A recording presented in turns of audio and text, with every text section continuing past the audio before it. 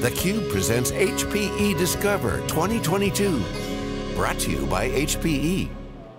Good morning, live from the Venetian Expo Center. Lisa Martin, Dave Vellante, day two of theCUBE's coverage of HPE Discover 22. We've had some great conversations yesterday, today, full day of content coming your way. We've got one of our alumni back with us. Neil Macdonald joins us, the Executive Vice President and General Manager of Compute at HPE. Neil, great to have you back on theCUBE. It's great to be back, and how cool is it to be able to do this face-to-face -face again awesome. instead of on Zoom, right? Yeah. Oh, so great, Isn't so it? great. The keynote yesterday, absolutely packed, so refreshing to see that many people eager to hear what HPE has been doing. It's been three years since we've all gotten together in person. It is, and, we, have been busy. We've been busy. We got to share some great news yesterday about uh, some of the work that we're doing with the HPE GreenLake Cloud Platform and really bringing together all the capabilities across the company in a very unified, cohesive way to enable our customers uh, to uh, embrace that as a service experience we committed to. Antonio, three years ago, said we were going to deliver everything we do as a company as a service through GreenLake, and we've done it. And uh, it's fantastic to see the momentum that that's really building and how it's breaking down the silos from different types of infrastructure and offer to really create integrated solutions for our customers. So that's been a lot of fun. Give us the scope of your role, your areas of responsibility, and then I'd love to hear some feedback. You've been a couple days here around customers. What's some of the feedback? Help us understand that.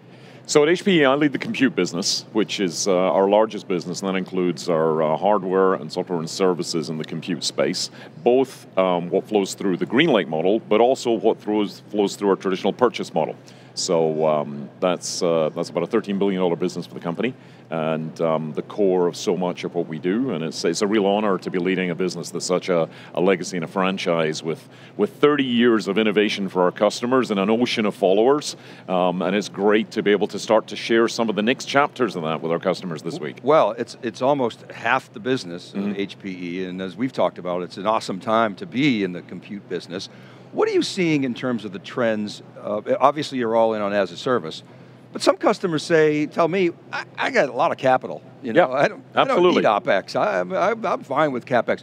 What are you hearing from customers in that regard? And presumably you're happy to sell them in a, in a CapEx model. No, absolutely. And in, in the current environment in particular with, uh, with some of the economic headwinds that uh, we're starting to stare down here, it's really important for organizations to continue to transform digitally, but to be able to match their investments with the revenues as they're building new services and new capabilities.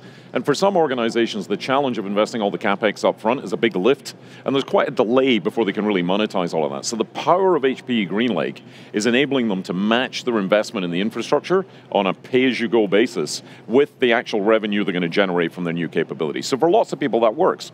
But for many other customers, it's, uh, it's much more uh, palatable to continue in a CapEx purchase model, and we're delighted to do that.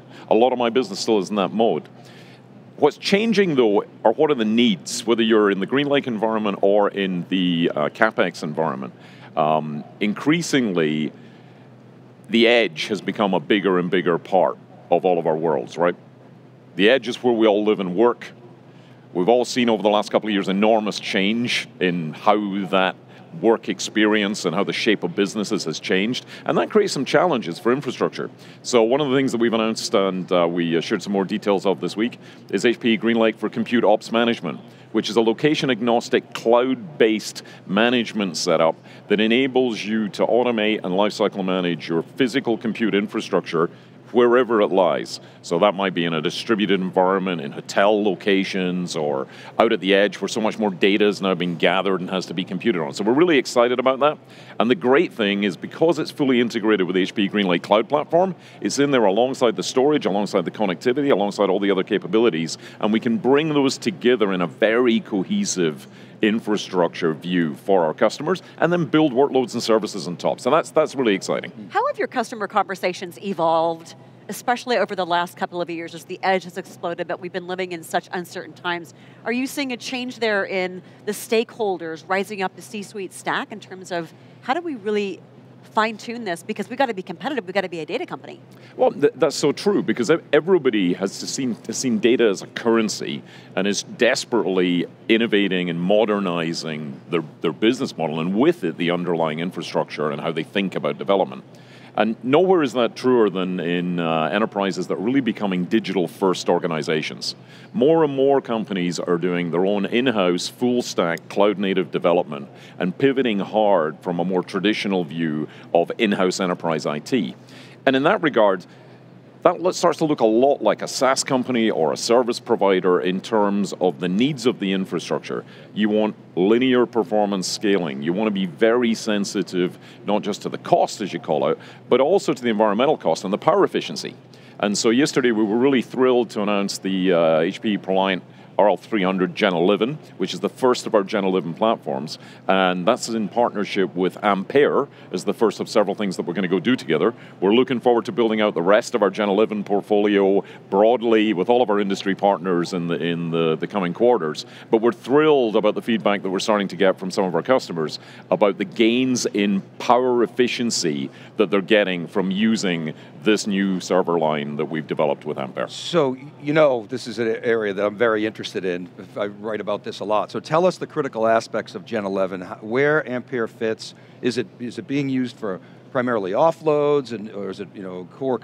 Share with us what. what so if, if, if, you look at the um, the opportunity here is really as a, a core compute tool for organizations that are doing that in-house, full stack cloud native development, and in that environment, being able to do it with great power efficiency at a great cost point is the great combination. The maturity of the ecosystem um, is, uh, is really, really improving to the point where it's much, much more accessible for those loads. And if you consider how the uh, infrastructure evolves underneath it, the gains that you get from power efficiency multiply. It's a TCO benefit, it's obviously an environmental benefit, and we all have much, much more to do as an industry on that journey, but every little helps, and we're really excited about being able to bring that to market. The other thing that we've done is recognizing the uh, the value that we bring in the ProLiant experience.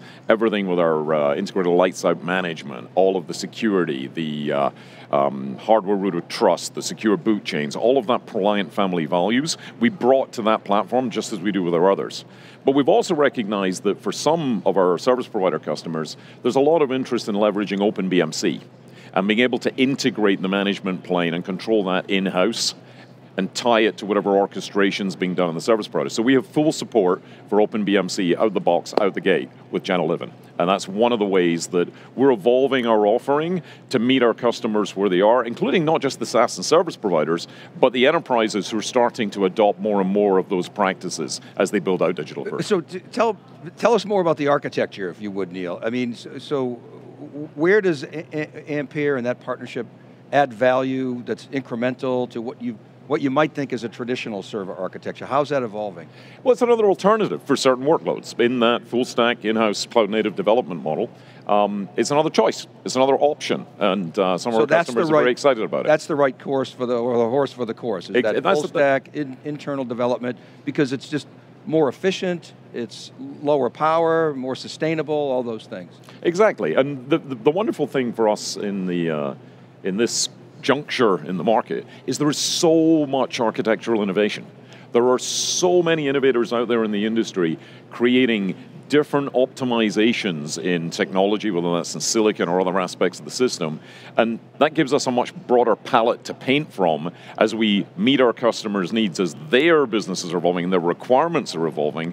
We can be much more creative as we bring this all together. And it's a real thrill to be able to bring some of these technologies into the HP ProLiant space because we've always felt that compute matters. We've always known that hardware matters and we've been leading and innovating and meeting these needs as they've evolved over the decades, and it's really fun to be able to continue to do that. Hardware still matters. It does still matter. we know that here on theCUBE. Talk about the influence of the customer. With so much architectural innovation, there's a lot of choice mm -hmm. for customers in every industry. When you're in customer conversations, how are you helping them make decisions? What are the key differentiators that you articulate that's going to really help them achieve outcomes that they have to achieve? Well, I think that's exactly it, as you say, it's about the outcome. Too often I think the conversation can get down into the, the, the, the lower level details of componentry and technology, and our philosophy at HP has always been focus on what it is that the customer is trying to achieve. How are they trying to serve their customers? What are their needs? And then we can bring an opinionated point of view on the best way to solve that problem, whether that's recommendations on the particular CapEx infrastructure and architecture to build, or increasingly, the opportunity to serve that through HPE GreenLake, either as hardware as a service, or as HPE GreenLake services further up the stack. Because when you start talking about what is the outcome you're trying to achieve, you, you, have, you have a much, much better opportunity to focus the technology to serve the business and not get wrapped up in managing the infrastructure. And that's what we love to do. So where, give us the, the, the telescope vision, maybe not the telescope, binocular vision, as to where compute is going. We're clearly seeing more diversity in silicon. Uh, it's not just a you know, x86 CPU world anymore. There's mm -hmm. all these other supporting components, new workloads coming in. Where do you, where, and you mentioned edge, whole new ball game, mm-hmm. AI inferencing and mm -hmm. those kind of new workloads, offloads and things of like that. Where do you see it all going in the next three to five years? I think it's going to be a really, really exciting time because more and more of our data is getting captured at the edge. And because of the experiences that companies are trying to deliver and organizations are trying to deliver, that requires more and more storage and more and more compute at the edge. The edge is not just about connectivity. And again, that's why with the HPE GreenLake Cloud Platform, the power of bringing together the connectivity with the compute, with the storage, with the other capabilities in that integrated way gives us the ability to serve that combined need at the edge in a, in a, in a very, very compelling way that removes a lot of friction and a lot of work for our customers. But as you see that happen, you're going to see more and more combining of functionalities. The silos are going to start to break down between different classes of building block in the data center. And you've already seen shifts with uh, more and more software defined and more and more hybrid offerings running across a computing substrate, but perhaps delivering storage services or analytics services or other workloads. And you're going to see that, to that, that continue to evolve. So it's going to be very fun over the next few years to see that, uh, that diversification and a much more opinionated set of offers for particular use cases and workloads. And our, our job and value is going to be simplifying that complexity, because choice is great, right up to the point where you're paralyzed by too many choices. So the, the, wonderful thing about the work that's been done here is that we're able to bring that opinionated point of view and help guide. And again, it's all about starting with what are you trying to achieve, what are the outcomes you're trying to deliver. And if you start there, we're having a great time helping our customers find the right path forward. Wow, sounds like a fun job. It is. Talk to me about, you know, maybe one of your favorite examples that you really think articulates the value of, of the choice and the opportunities that HPE can deliver to, to, customers? Maybe a favorite customer example where you think we really nailed it here and they're achieving some incredible outcomes? Well, one of the ones that we're really excited about this week is I was uh, chatting with uh, uh, the CEO of Cloud Sigma, which is a global IaaS and PaaS provider, who's actually uh, been uh, using our new HP ProLiant RL300 Gen 11, our new Ampere-based server line. And uh, their CEO was reporting to me yesterday that based on his benchmarking, they're seeing a significant improvement in power efficiency. And that's, that's, that's cool to an engineer, but what's even better is the next thing he said.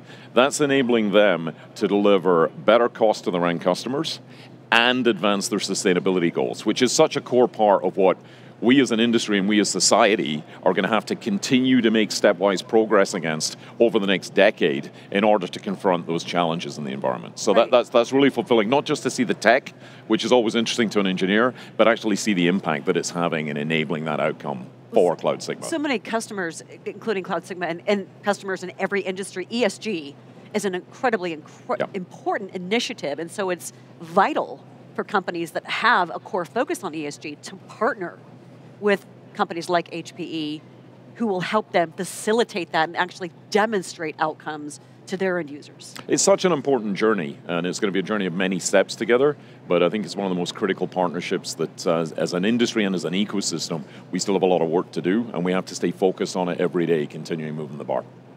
You know, to your point about ESG, you see these ESG reports now, that they're unbelievable. The data that is in them and the responsibility that organizations, mid and large organizations have to actually publish that and be held accountable. Yes. It's, it's actually kind of daunting. Uh, but there are a lot of investments going on there. You're absolutely right. Well, the accountability is key, and it's it's key. It's necessary to have an accountability partner mm -hmm. and an, and an ecosystem that can facilitate that. Well, exactly, and we just published last week our own Living Progress report this yeah. year, talking about some of the steps that we're making and the commitments that we pulled in in time, um, and uh, we're looking forward to uh, continue to work on that with our customers and with the industry, because it's so critical that we make faster progress together on that.